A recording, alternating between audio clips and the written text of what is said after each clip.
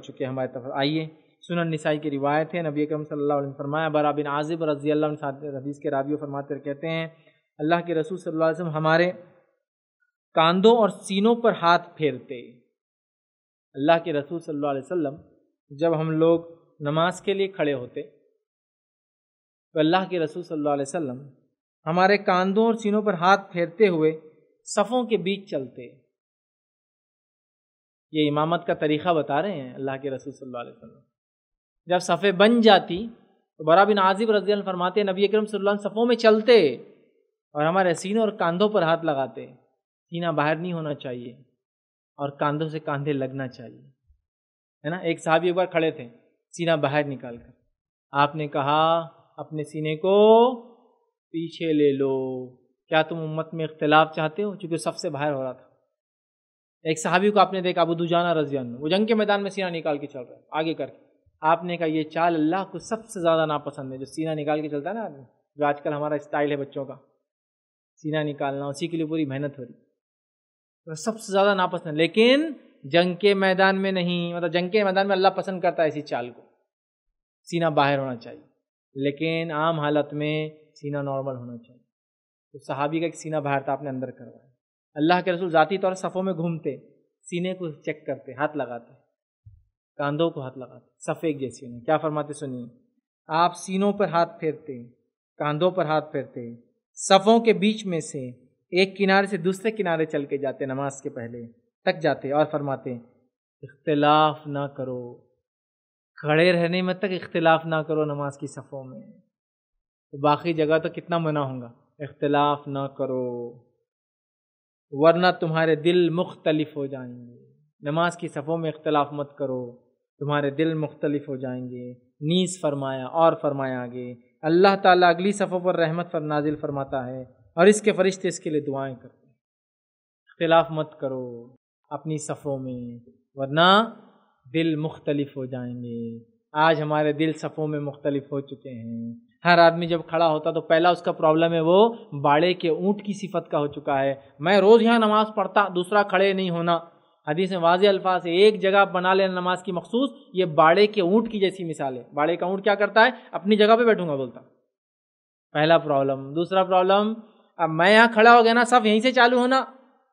تو ایک بیچ میں کھڑا امام کے پیچھے، تو ایک وہاں سے سب چالو کرتا، تو ایک ادھر کی دروازہ آتا، یہاں سے سب چالو کرتا، تو وہ اب سب کو مکمل کرنے تین تین طرف سے لاکنگ کرنا پڑی۔ بیچ میں دو کھڑے ہوئے، چار ادھر سے پہلے کھڑے ہو گئے، چار ادھر سے پہلے کھڑے ہو گئے۔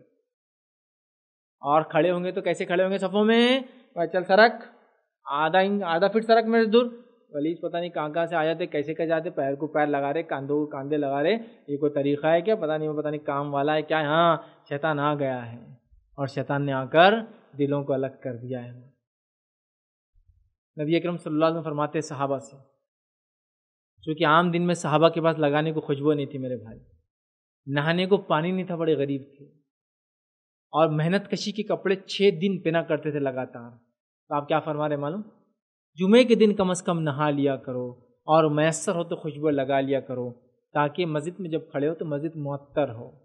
کیونکہ صحابہ کے پاس عطر بھی نہیں تھا نہانے کو پانی بھی نہیں تھا اور دو کپڑوں زیادہ نہیں ہوتے تو ایک جمعے کے لیے خاص رکھتے تھے وہ اور ایک پہنتے تھے محنت کے کپڑے بولتے تھے وہ عام کپڑوں کو اور جمعے کا کپڑا بولتے تھے الگ کپڑے کو۔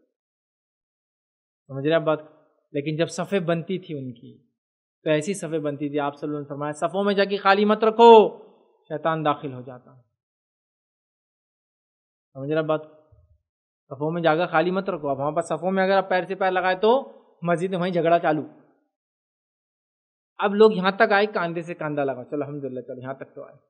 قدم سے قدم اور کاندھے سے کاندھا لگا اچھا اب لوگوں کی منطقیں بڑی رہتی ہے اگر ہم بولے نا، قدم سے قدم لگاؤ، کاندھے سے کاندھا مطلب شیطان بیچ میں آئیں گا، تو اپنی منطق لڑاتے بے خوفانہ نہیں بولے بیچ میں پیر کی جگہ تھی وہاں سے نہیں جائیں گا کیا بولے؟ جب نبی اکرم صلی اللہ نے فرما دے رہے کچھ کہ کو عقل لڑا رہا بھائی میرے۔ قدم سے قدم لگاؤ، کاندھے سے کاندھا، ورنہ شیطان بیچ میں آئیں گا تو بولے، بیچ میں جائیں گا۔ تو میں آپ کو بولتا ہوں، تھوڑی عقل تو پکڑو۔ جو شیطان آدم کے سامنے جھکا نہیں، اس کی شرمگاہ کے نیچے جائیں گا۔ جو جھکا نہیں، اپنی انا کی وجہ سے تو پیار کے بیچ میں جائیں گا وہ۔ نہیں جاتا ہوں پیار کے بیچ میں۔ تمہاری دلیل پہ میری دلیل دے رہا ہوں میں۔ یہ سب عقلی گھوڑے، میرے اپنے عقلی گھوڑے۔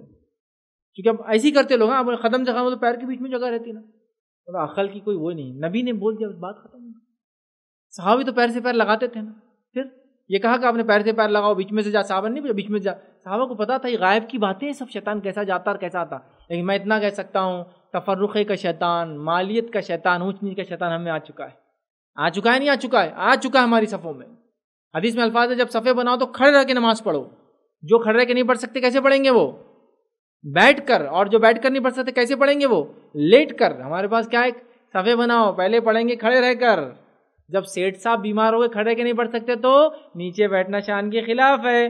کرسی پر اسپیشل کرسیاں آتی ہے۔ آپ دیکھیے، ہر محلے کی مالی استاد پہ کرسیوں کا ڈیزائن اور وہ چینج ہوتا ہے۔ کرسی پہ نماز نہیں ہوتی۔ بیٹھ کر ہاں کوئی بولے، بیٹھ ہی نہیں سکتا ہوں میں۔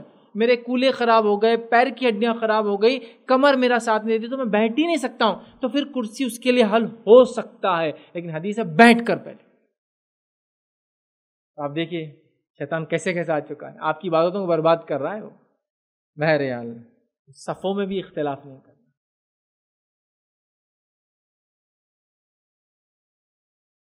السلام علیکم۔ آپ بھی ہمارے اس کام میں تعاون کریں، اپنی زکات و صدقات کے ذریعے ڈونیشن ڈیٹیلز کے لیے ڈونیٹ اس پر کلک کریں۔ اگر آپ کو ہمارے ویڈیوز پسند آئے ہیں، تو اسے شیئر کریں اور سب کے حقدار بنیں۔ روزانہ ہمارے ویڈیوز کو پانے کے لیے ہمارے یوٹیوب چینل کو سبسکرائب کریں اور بیل آئکن دبائیں۔ ہم سے دیگر سوشل میڈیا پر جڑنے کے لیے ویڈیو میں دیے گئے آئی ڈی کو سرچ کریں۔ جزاک اللہ۔